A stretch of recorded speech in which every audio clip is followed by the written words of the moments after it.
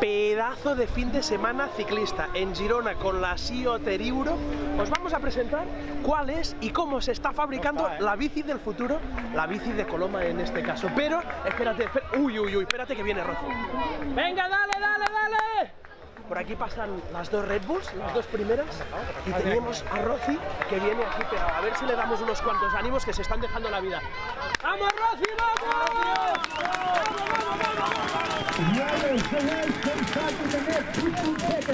La carrera de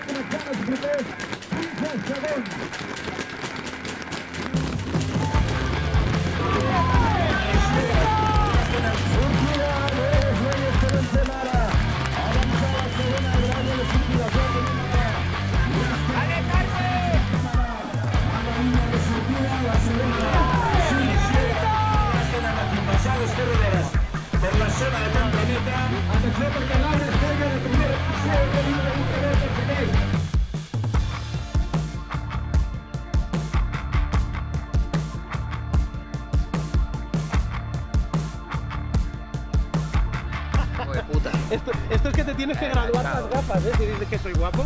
¿Por qué? Aguante Venezuela. Somos los duros. Ahí está. Nosotros somos guerreros. Durísimos, claro que sí. Somos un aguante ante el mundo. Le estamos dando una lección al mundo de Totalmente. dignidad y de experiencia, de humildad, de moral. Totalmente. Te lo digo con los ojos llorando, Tengo- tío. lo sé, lo es sé. muy fuerte. Mi familia está pasando mucho trabajo. Estamos dando la batalla. Sí. Tengo compatriotas tuyos No, de amigos y sé Y, no, y, esto no se, y esto no se nota de. Esto no tiene nada que ver con los hijos, hijos de putas gobernantes de todo el mundo. Esto se nota que el pueblo está dando una lección muy grande porque, ¿sabes? Estamos hartos de que nos quiten todo. La tierra es nuestra, déjenos en paz. Somos toromaimas, somos indios, somos gente y queremos a todo el mundo. Cuando todo el mundo estaba de guerra, nosotros le abrimos las puertas, nuestro país le abrió las puertas con la alfombra roja a todos y los abrazamos a todos y nos hicimos familia y nos hicimos piña. Es eso. El mundo tiene que cambiar, tío. Así es fácil. El mundo, el mundo tiene que cambiar. Así es fácil.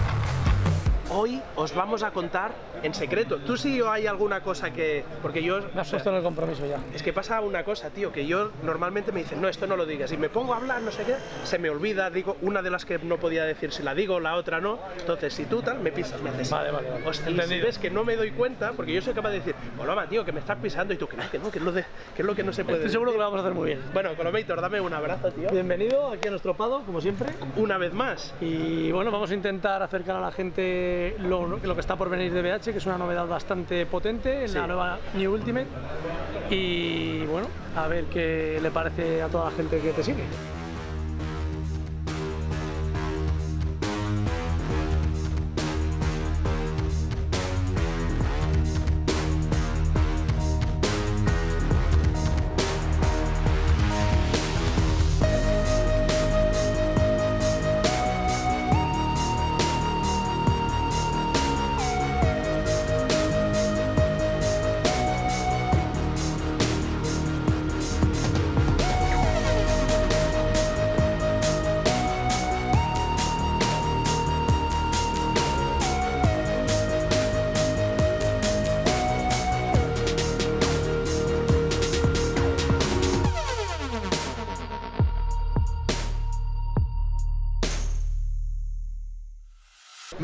Hoy os vamos a explicar cuál es la bici del futuro y cómo la están desarrollando. Es decir, muchas veces, claro, la gente está acostumbrada a decir, coño, yo voy a la tienda, ya veo ahí el loguito, me dicen cuánto Aquí no van a ver la nada. veo en las revistas y aquí no van a ver nada y vamos a explicar un poco cómo lo hacéis. Pues los ingenieros de BH, pero luego con los que estáis corriendo Copa del Mundo para intentar avanzar esto. Así es. ¿Qué tenemos aquí, Carlos? Vamos a intentar explicarlo de la forma más sencilla para que todo el mundo, los que están iniciándose, lo entiendan, los que son ya muy pros, pues que también se lleven lo más importante, que la diferencia, aparte de en el peso, que estamos en 800 y pico que es una puta barbaridad para una bici de mountain bike, eh, también a nivel de geometría la bicicleta ha cambiado bastante y si ya la anterior es una bici súper efectiva, la última que está en el actual catálogo porque ya se cambió mucho la geometría, con mucha angulación de horquilla para que no des la vuelta de campana y te rompas una clavícula, con la vaina trasera muy cortita, en esta está todo exagerado. O sea, quiere decir que todavía es más segura porque la horquilla es- está más lanzada todavía, con lo cual Sí. es mucho más segura.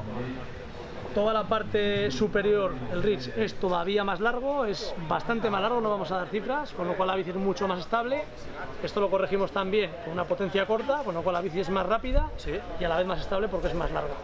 Y para mí la super revolución, aparte del peso y de la geometría, es que la vaina trasera, si la actual ya es corta, que es 43 centímetros de metro, esta es mucho más corta. Mucho más es mucho más corta.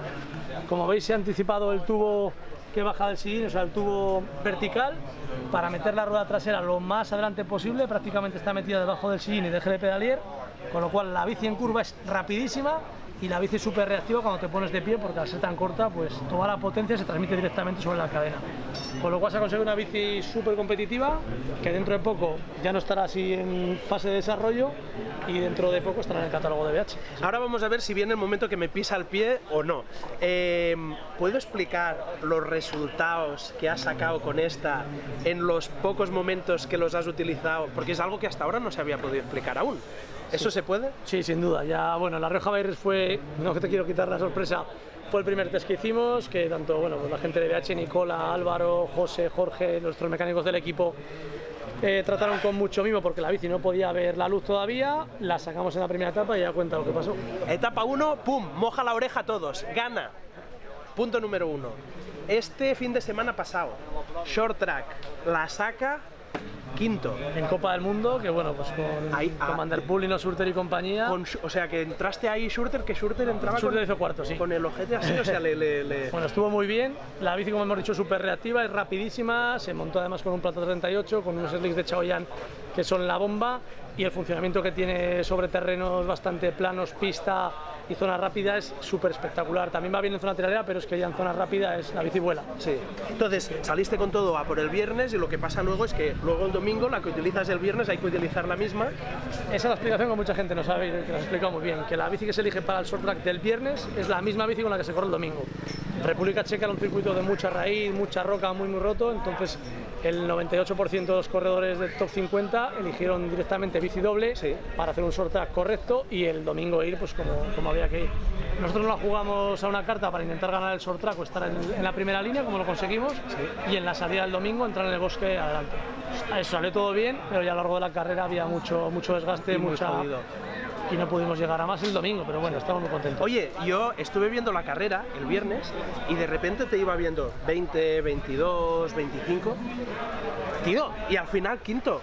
¿Cómo, es decir, cómo la llevabas en la cabeza para o, o tenías pensado, mira, en la última vuelta a partir de aquí es que yo tengo que llegar ahí posicionado y ahí reventar o cómo, cómo se hace eso? Eh, ya habíamos corrido el año pasado en short track y bueno, mi idea era, eran, me parece que eran 8 o 9 vueltas, era ir hasta mitad de carrera en el grupo de los 20-25 mientras no se rompiese el grupo del todo, como así fue y bueno, los mecánicos me decían pasa para adelante, pero yo iba viendo que el grupo no se rompía.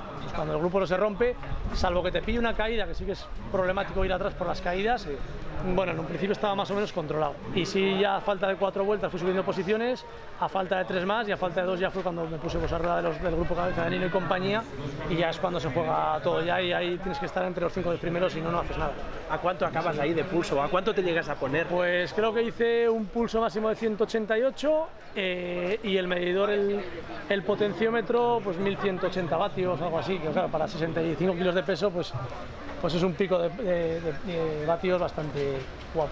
Muy bien. Oye, y mm, sobre el papel, lo que antes estábamos comentando, cuando nos vimos en la Mediterranean, tenías un proyecto en la cabeza, pero que era un proyecto aún en el papel, ¿no? Bueno, mira, un equipo con dos chavales muy jóvenes, he montado toda esta estructura, monto un paddock y en el paddock quiero que venga, que venga la gente. Mira, aquí los tienes. Entonces, hostia, eh, de lo que tenías tú en el papel o en el Excel pensado que saliera a lo que está saliendo, ¿qué? Pues la verdad es que estoy más contento de lo que esperaba, porque la gente ha respondido desde el minuto uno, bueno, a nivel de seguimiento en redes ha sido para ser un equipo de cross country bastante, bastante fuerte, y luego a nivel de marcas, pues ya se está pensando ya en 21 y 22, porque está todo firmado hasta el 2020, 19 y 20, con lo cual que ya estamos pensando en 21 y 22 quiere decir que el equipo pues nos está teniendo una buena aceptación en el público, que a nivel de competición los mecánicos y todo el staff y los corredores están rindiendo muy bien y que yo creo que, que, bueno que este tipo de proyectos pues hacen falta en el mountain bike y Dios quiera que en el futuro haya más. Oye, yo te iba a decir, me estoy poniendo yo ahora finito para ver si ya para el 20, para el 20 no, Para el 21 pero igual para el 21, Para el 21. igual si me haces un poco de manager, como a Rocío, por ejemplo, París contigo, en vez de Tokio, París. yo me veo ahí para dar la sorpresa. Yo que soy un juvenil, igual ya para pasar ya el sub-23, igual, ¿no? Algo tendremos en mente. Hostia, ¿sabes como cuando muerdes un limón que se te cae? Ha hecho, se ha hecho como, uy, lo que me ha dicho el jabalí. París 2024, lo vemos en París 2024. Venga, tú, de momento París no Vamos sé, a comer. vamos a ver esto Venga, y comemos un pues, poco. vamos a comer. Venga, Colom- Ah, y espera, a ver. Coloma, Coloma, Coloma, Coloma, Coloma. Mira, los tímidos al palco los tímidos. ¿Tú que no habéis desayunado? Yo pensaba, espera, aguántame un momento.